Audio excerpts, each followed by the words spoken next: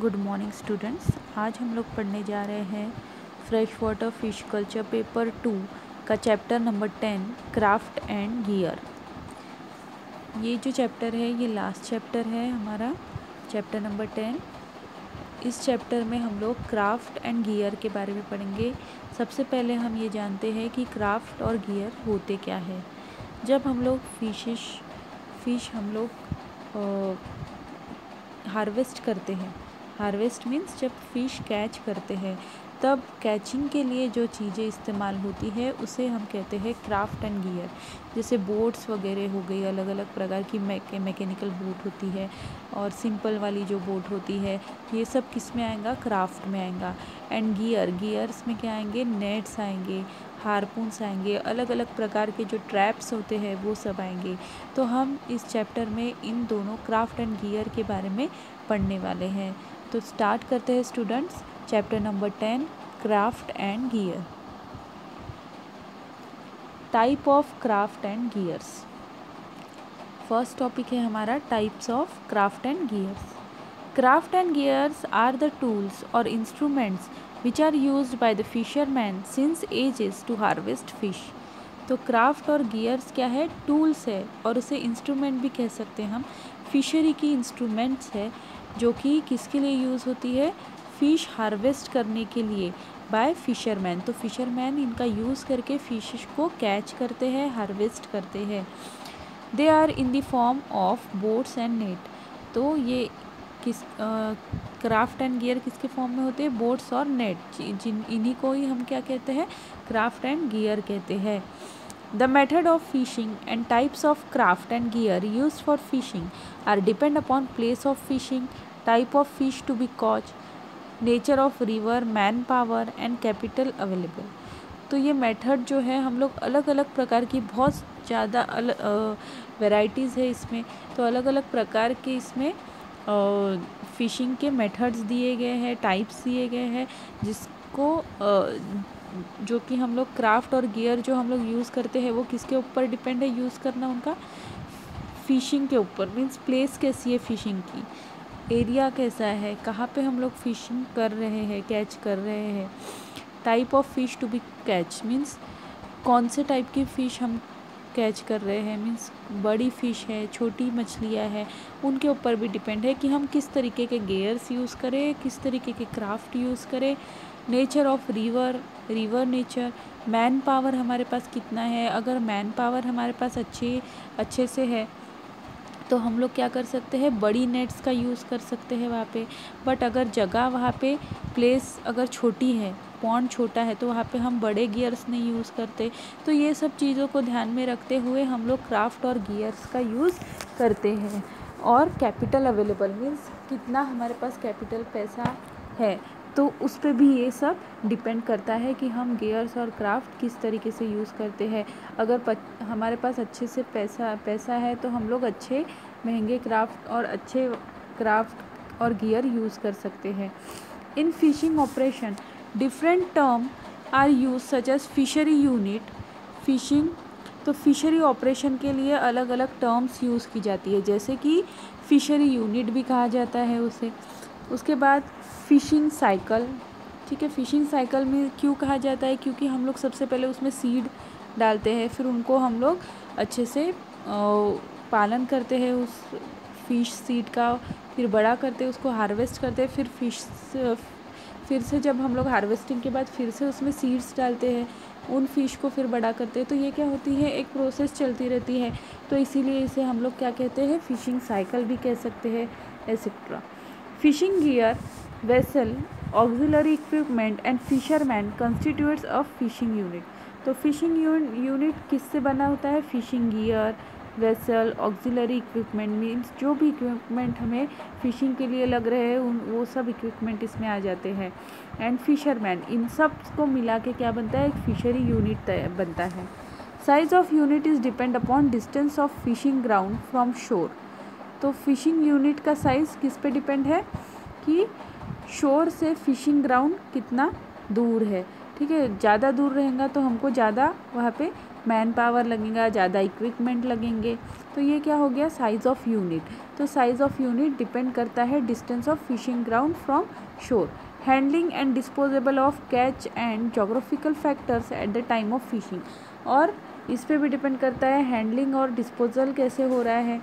जो हम लोग फ़िश कैच कर रहे हैं और जोग्राफिकल फैक्टर्स वहाँ पे कैसे हैं at the time of fishing fishing cycle is a entire fishing period from launching of fishing gear and again a launching after a gap means fishing cycle जब हम लोग छो फ़िश कैच करते हैं, उसके बाद हम कुछ दिन के बाद और फ़िश कैच कर, करते हैं। मीन्स फिर से हम लोग गियर्स यूज़ करके फ़िश को कैच करते हैं।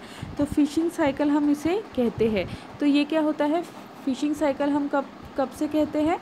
From period from launching of fish launching of fish gear and again launching of after a gap means फिर से हम लोग फ़िश गियर कब यूज़ कर रहे हैं। पहले हमने फ़िश गियर का यूज़ करके फ़िश कैच की, उसके बाद कुछ टाइम के बाद हम लोग गैप के बाद फिर से वो गियर यूज़ करते तो इसे क्या कहते हैं? फ़िशिंग साइकिल कहते हैं। Number of fishing cycle per day depend upon density of fish fishing method and geographical factor at the time of fishing तो नंबर ऑफ़ फिशिंग साइकिल अगर बहुत ज़्यादा डेंसिटी में हमारे पास फिशेश है मीन्स कोई एरिया है पॉन्ड एरिया है, वहाँ पे फिशेश की पॉपुलेशन बहुत ज़्यादा है तो वहाँ पे क्या करना पड़ेगा हमें? समय समय के बाद हमको कैचिंग करनी पड़ेंगी फ़िश कैच करनी पड़ेगी। तो ये किस पे डिपेंड है? डेंसिटी ऑफ़ फ़िश कितनी है कितनी बार हम लोग उस गेयर का यूज़ कर रहे हैं और कि, कि, कितनी बार हम लोग फ़िश कैच कर रहे हैं? तो ये फ़िशिंग डेंसिटी पे डिपेंड होता है और फ़िशिंग मेथड हम कौन सी अप्लाई कर रहे हैं? ठीक है ऐसी फ़िशिंग मेथड है अगर जिसमें एक टाइम पे बहुत कम मछलियाँ हम लोग हार्वेस्ट कर पाते हैं तो हमें वो बार बार दोहरानी पड़ती है। बट अगर हम लोग बड़ी बड़ी नेट्स का यूज़ कर रहे हैं तो क्या होता है, एक समय पे ही हमें बहुत सारी फ़िशेश हार्वेस्ट कर, हम लोग हार्वेस्ट कर पाते हैं। तो ये भी मेथड पे भी ये डिपेंड होता है और जोग्राफिकल फैक्टर्स वहाँ पे कैसे है, इस पर भी डिपेंड होता है।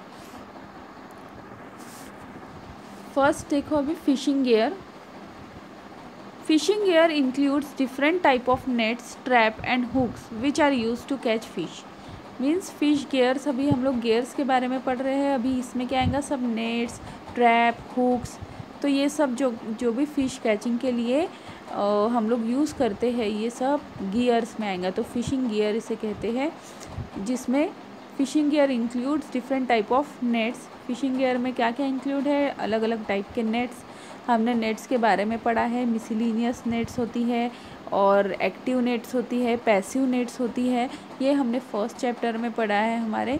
तो अलग अलग टाइप की नेट्स इसमें आ जाती है ट्रैप्स आते हैं ठीक है फ़िश को पकड़ने के लिए हम लोग अलग अलग ट्रैप लगा के रखते हैं जिसमें फ़िश हम लोग कैच कर सकते हैं। हुक्स आते हैं तो हुक्स हुक्स हम लोग कब यूज़ करते हैं जब हम आ, एक सिंग सिंगल मैन अगर फ़िशिंग कर रहा है, तब उस टाइम पे हुक्स का यूज़ करके फ़िशिंग की जाती है which are use to catch fish तो जो भी हम लोग फ़िश को कैच करने के लिए यूज़ करते हैं, उन्हें हम लोग क्या कहते हैं? गेयर कहते हैं. Type of method type of method net traps hooks use for fishing is depend upon local condition such as density of fishes area of fishing geographical condition etcetera तो टाइप ऑफ़ मेथड जो है nets trap hooks इनका use किस पे depend है? Local conditions density of fish fish वहाँ पे कैसे प्रेजेंट है? और एरिया ऑफ़ फिशिंग और जोग्राफिकल कंडीशंस वहाँ पे कैसी है? तो इन सब पे डिपेंड हम लोग एक किसी मेथड को वहाँ पे अप्लाई करते हैं। Common fishing methods or gears use for fishing are described as follow तो कॉमन फिशिंग मेथड के जो गियर्स हैं, ठीक है, वो यहाँ पे हम पढ़ने वाले हैं आगे। सबसे पहला है hand picking method hand picking method simplest and traditional method of fishing hand picking method जो है, उसे क्या कहा गया है? सिंपलेस्ट और traditional method of fishing fishes are caught by hand in shallow water तो जहाँ पे शैलो वाटर होता है, बहुत ज़्यादा डीप नहीं होता, वहाँ पे फिशेज को बाय हैंड कैच किया जाता है।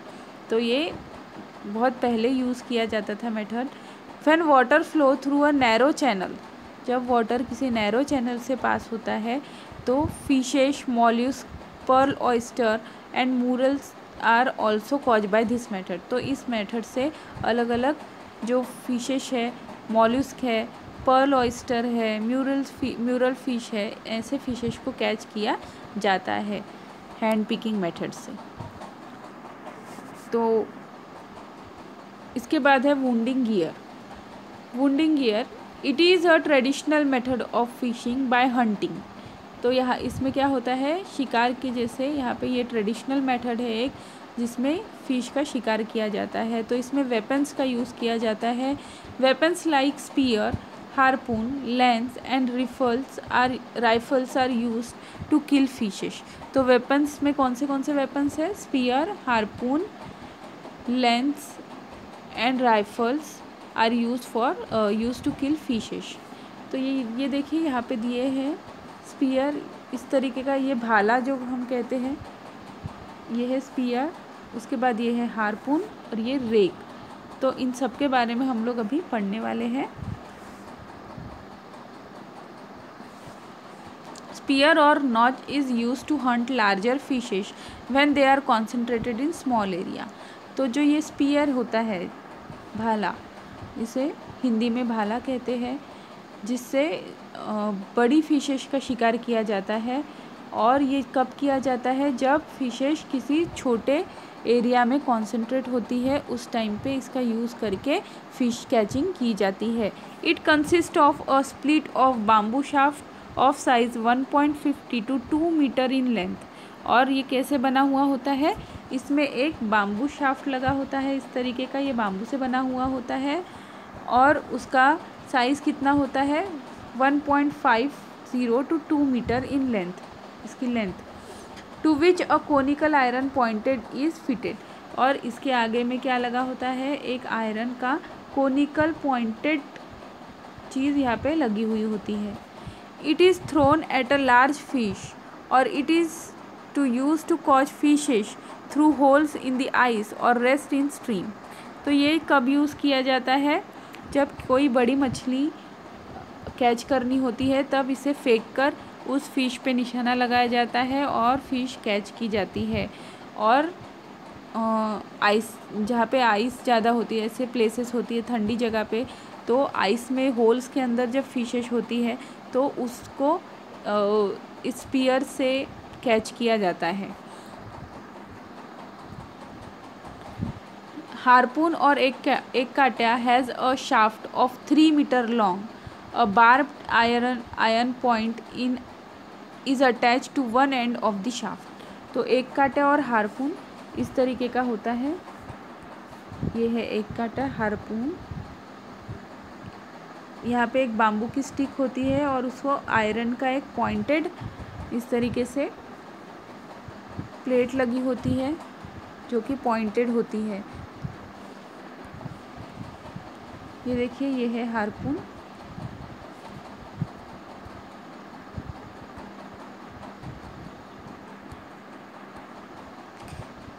ये है हारपून, एक काट्या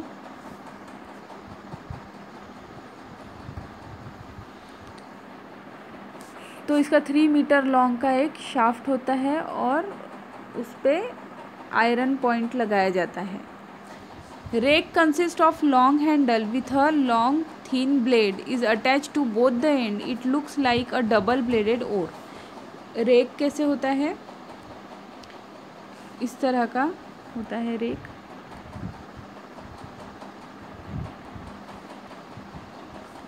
देखो इस तरह का।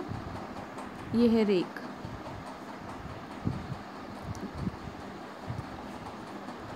तो rake consist of long handle जो कि किससे बना होता है? एक लॉन्ग हैंडल होता है with long thin blade is attach to both the end तो दोनों एंड पे यहाँ पे ब्लेड्स लगी हुई होती है। It looks like a double bladed oar तो जो बोट चलाते वक्त जो ओर होता है हमारे पास, उसके जैसे ये दिखता है। Third is hooks and line gear hooks and line gear fishing is hooks and line gear fishing is very old method of fishing based on the principle that fish is attracted by offering a real और artificial bait तो आर्टि बेट means क्या होता है? Means uh, uh, हम उसको चारा देते हैं फ़िश को। तो वो उसकी तरफ़ अट्रैक्ट होती है। तो ये आर्टिफिशियल भी हो सकता है या फिर रियल भी हो सकता है, जैसे कॉकरोच हो गया और स्नेल वगैरह हो गया। तो इन सब का को एज अ बेट हम लोग यूज़ करते हैं तो फ़िश को वो अट्रैक्ट करता है अपनी तरफ़ और फ्री फ़िश हमारे जाल में फंस जाती है। तो हुक्स और line gear fishing is very old method ये बहुत ही ओल्ड मेथड है of fishing based on the principle और किस पे बेस्ड है? The fish is attracted by offering a real और आर्टिफिशियल बेट मीन्स हम लोग इनको ऑफ़र करते हैं बेट जिसकी तरफ़ वो फ़िश अट्रैक्ट होती है और फिर हम उसे कैच कर पाते हैं। After eating the bait fish is unable to remove the fixed hook from the oral cavity तो जैसे ही फ़िश वो बेट को खा खा लेती है, उसके बाद उसके ओरल कैविटी में जो हुक होता है, वो फंस जाता है, जो कि वो नहीं निकाल पाती है। Fisherman lift the fish from the water और उसके बाद फिशरमैन फ़िश को लिफ्ट कर लेता है वाटर से बाहर निकाल लेता है। हुक्स में बी अ थॉर्न और a metal hook of various size and shape hooks bamboo से भी बनी होती है या फिर मेटल हुक्स आती है तो अलग अलग साइज़ में ये अवेलेबल होती है। In modern fishing hooks are made of well tempered metal and protected from action of water by galvanising bronzing enamelling और सिंपल ब्लूइंग तो मॉडर्न जो टेक्निक्स है, उसमें फ़िशिंग हुक्स जो अवेलेबल है तो वो अच्छे से मेटल से बनाए गए हैं, जो जो कि जिससे क्या होता है वाटर से वो ख़राब नहीं होती है गैल्वनाइज नहीं होती है ब्रॉन्जिंग नहीं होता है, उसमें कोई तरह का जंग नहीं चढ़ता है। तो इस तरीके से आजकल मेटल की हुक्स मार्केट में अवेलेबल होती है। Material like mother of pearl tortoise shell whale bone gold and silver plated metal are also use for preparation of hooks तो हुक्स और किस अलग अलग कौन से मटेरियल से बनाई जाती है? Like mother of pearl means pearl जिसमें होता है, वो शेल जो होता है ऊपर का, उससे बनाया जाता है। टॉर्टोइस के शेल से बनाया जाता है। वेल जो फ़िश होती है, उसके बोन्स जो है, उससे बनाया जाता है या फिर गोल्ड और सिल्वर प्लेटेड मेटल जो होता है, उससे बनाया जाता है। Hook is compose of head और eye, shank, bend and point? तो हुक किससे बनी होती है? हेड हेड और eye, shank, bend and point. तो इस, ये किसे कहते हैं अभी हम देखेंगे। ये देखिए यहाँ पे। ये है आई उसके बाद यहाँ पे है शैंक ये है बैंड क्योंकि यहाँ से ये पोर्शन बैंड होता है। और ये है इसका पॉइंट पॉइंट विद बार्ब्स ये जो इस तरह के एरो दिख रहे हैं, ये क्या है? बार्ब्स हैं। तो ये अलग अलग साइज़ में इस तरीके के आती है। मीन्स ये दो इसमें दो हुक्स है। ये सिंगल वाले हैं, यहाँ पे ये सिंगल है, यहाँ पे टू हुक्स है, यहाँ पे और थ्री मल्टी हुक्स है यहाँ पे अलग अलग तो इस अलग अलग शेप और साइज़ में ये आते हैं। आई और head serves for fastening the line eye और हेड जो होता है वहाँ पे हम लोग थ्रेड बांधते हैं। Bend is varies in shape bend अलग अलग प्रकार के होते हैं। Shank is design to prevent the escape of fish shank जो है इस तरीके से बनाया जाता है कि फ़िश बाहर ना निकल सके। Point is provided with barbs जो पॉइंट होता है, वहाँ पे बार्ब्स होते हैं। हुक्स में बी स्ट्रेट बेंड और reversed rounded flattened angular double triple और मे मे और मे नॉट हैव बार्ब तो जो हुक्स होती है, वो कैसी हो सकती है? स्ट्रेट भी हो सकती है बेंड हो सकती है रिवर्स्ड राउंडेड शेप में हो सकती है। फ्लैटन हो हो सकती है एंगुलर हो सकती है। डबल हमने देखा डबल जिसमें हुक्स होती है ट्रिपल भी हो सकती है मे और मे नॉट हैव बार्ब और ऐसी भी हो सकती है जिसमें बार्ब हो या फिर ना भी हो। Bait is attack attach to the hook to attract fish तो बेट को हुक से अटैच किया जाता है to attract the fishes generally earthworm prawn caterpillar beetle small fishes cockroach frog piece of fish use as a bait तो bait जो चारा होता है वो कौन से कौन से प्रकार का हो सकता है? अर्थफॉर्म हम लोग यूज़ कर सकते हैं प्रॉन्स यूज़ कर सकते हैं caterpillars beetles small fishes cockroach frogs pieces of fish तो ये सब हम एज अ बेट यूज़ कर सकते हैं। Live bait is more attractive but not always available hence dead bait is use. तो लाइव बेट ज़्यादा अट्रैक्टिव होता है फिशेज को ज़्यादा अट्रैक्ट करता है, बट ये हमेशा हम लोग अवेलेबल नहीं होता, हमेशा हमको नहीं मिल पाता, इसीलिए डेड डेड बेड जो होता है, जो मरे हुए इंसेक्ट वगैरह होते हैं कैटापिलर होते हैं, उनका यूज़ किया जाता है। या फिर आर्टिफिशियल भी जो बेट होता है, वो यूज़ किया जाता है।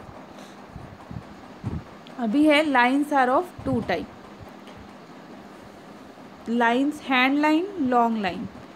Means fishing जब करते हैं, आपने जनरली जब फिशिंग करते हुए किसी को देखा होगा तो जो हैंड लाइन होती है, उससे करते हैं एक ऐसे बम, एक स्टिक होती है, उसको थ्रेड लगा होता है। और स्टिक वो इंसान के हाथ में होती है, और जो थ्रेड होता है, वो पानी के अंदर डाला हुआ होता है। तो उसमें फ़िश क्या होती है? अट्रैक्ट होती है, उस पर बेट लगाया जाता है तो फ़िश अट्रैक्ट होके उसमें उसकी जो उसका जो माउथ है वो उसमें अटक जाता है और फिर फ़िश को कैच कर लिया जाता है। तो इस तरीके से हैंड लाइन हैंड लाइन का यूज़ करके फ़िश कैचिंग की जाती है। तो हम लोग सबसे पहले पढ़ेंगे hand lines this line is very simple one और two hooks are attach to the end of a cotton line तो ये एक वेरी एक बहुत ही सिंपल तरीका है जिसमें एक या फिर दो हुक्स अटैच होते हैं to the end of cotton line means thread को which is hold in hand तो और जो स्टिक होती है वो हो हैंड हाथ में पकड़ी जाती है। A long bamboo stick of size 2.5 metre long is also use by this by some people तो कुछ पीपल डायरेक्ट थ्रेड पकड़ते हैं और कुछ पीपल क्या करते हैं बाम्बू स्टिक का यूज़ करते हैं। तो वो भी उसकी साइज़ होती है 2.5 metre long to the bamboo stick line is tied और उस बाम्बू स्टिक को क्या लगाया जाता है? थ्रेड लाइन लगाई जाती है. In hand line there is only one line with a sinker and snood तो हैंड लाइन में क्या होती है? एक ही लाइन लगाई जाती है, उसके साथ सिंकर और स्नूड होता है. Several hooks are attach to increase chance of fishing तो हुक्स ज़्यादा से ज़्यादा लगा सकते हैं, जिससे क्या होता है? फ़िश कैचिंग के चांसेस बढ़ जाते हैं। तो देखिए, इस तरीके की होती है वो हैंड लाइन्स ये जो है, ये हमारे बुक का डायग्राम है। ये बुक में दिया गया डायग्राम है और ये इस तरीके का होता है वो लाइंस तो ये है स्नीकर और स्नूड हम इस जो धागा होता है, उसे हम लोग कहते हैं। ये देखिए स्नूड हुक्स नोड ठीक है तो ये देखो इसमें यहाँ पे हुक लगाया गया है।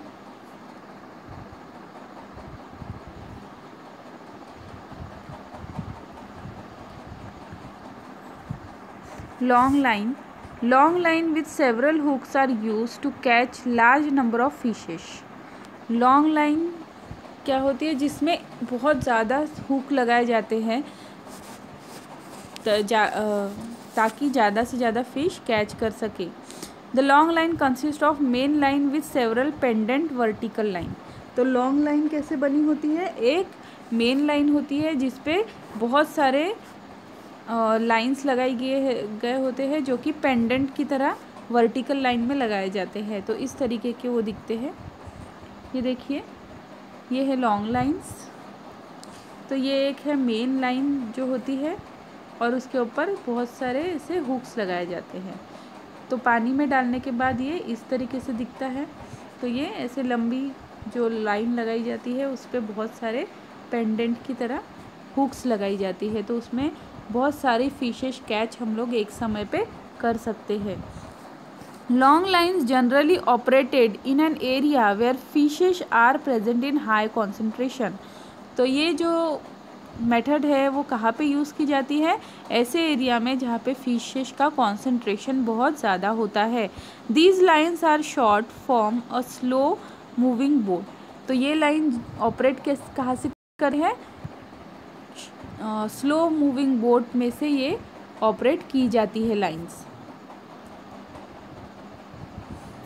अभी है use of baited springs baited spring का यूज़ कैसे होता है? Strong and flexible piece of bamboo pointed at both the end are use as a spring तो जो एक बाम्बू का एक ऐसा पीस लिया जाता है बाम्बू की स्टिक ऐसी ली जाती है जो कि स्ट्रॉन्ग भी हो और फ्लेक्सिबल भी हो, और वो दोनों तरी, तरफ़ से क्या होती है? पॉइंटेड होती है, ठीक है? तो वो बेट लगाने के लिए वो यूज़ किया जाता है। Two ends of bamboo piece are bend till they nearly meet and adjust within the body of bait तो जो बाम्बू की स्टिक होती है, उसको क्या करते हैं? बेंड करते हैं और बेंड करके जो दोनों उसके एंड होते हैं, वो पास में लाकर एडजस्ट किया जाता है और उसमें बेट लगाया जाता है। बेट मीन्स चारा। ठीक है, कोई इंसेक्ट या फिर फ्रॉग या मीट या फिर फ़िश को लगाया जाता है। तो such as cockroach grasshopper frog piece of meat etcetera and then keeped in suspended position in water और उसके बाद वाटर में उसे सस्पेंडेड पोजिशन में डाल दिया जाता है। When fish consume the bait two end of spring separate in the mouth और जैसे ही फ़िश उस बेट को कंज्यूम करती है, जैसे ही फ़िश उस बेट को खा लेती है, वैसे ही वो जो स्प्रिंग है, वो खुल जाता है। मीन्स जो बाम्बू का जो हमने पीस पीस लगाया था तो वो हमने ऐसे एडजस्ट किया था कि वो एक साथ जुड़ जाए दोनों एंड और जैसे ही फ़िश उस बेट को खाती है तो वो सेपरेट हो जाते हैं और वो खुल जाता है स्प्रिंग दिस और उसके फ़िश के माउथ में वो इस तरीके से खुलता है कि फ़िश उसे फिर निकाल नहीं पाती। Springs are use to catch carnivorous fish such as murrel तो मूरल फ़िश जो है कार्निवरस फ़िश ऐसे फिशेस के लिए ये यूज़ किया जाता है। उसके बाद है fish screens screens are made from bamboo sticks screen किससे बनाई जाती है? बाम्बू स्टिक से बनाई जाती है. मीन्स ये ट्रैप होता है एक तरह का का. तो बाम्बू का यूज़ करके यहाँ पे एक स्क्रीन की तरह बनाया जाता है. साइज़ ऑफ़ स्क्रीन और छाछी is ten metre in length and one to one point five metre in width तो साइज़ कैसा होता है स्क्रीन का? टेन मीटर की लेंथ होती है और one to one point five metre की उसकी विथ होती है। Screen are set in shallow area at the time of high flood. तो जैसे ही पानी ज़्यादा बहने लगता है, उस टाइम पे पहले ही इसे सेट कर दिया जाता है ऐसे एरिया में जहाँ पे पानी बहकर आता है। When flood water recedes fishes left behind in muddy area are collected तो जैसे ही फ्लड वाटर आता है तो उसके साथ जो फिशेस आती है, वो वहीं पे बाम्बू के बाम्बू से अटक जाती है और पानी जो है, वो बाम्बू स्क्रीन से बाहर निकल जाता है। तो फ़िश वहाँ पे कलेक्ट हो जाती है मडी एरिया में। तो carp cat fish murrel are caught by using screen तो ऐसी जो फिशेस होती है कार्प्स है कैट फिशेस है मूरेल्स है, इन्हें कैच करने के लिए स्क्रीन का यूज़ किया जाता है। Next is fish traps and pots traps and pots are use to catch fishes. A basket trap consists of two dome-shaped hemisphere, hemispherical basket. तो ट्रैप्स एंड पॉट्स यूज़ किए जाते हैं फ़िश कैच करने के लिए। तो ये बाम्बू से ही बने होते हैं।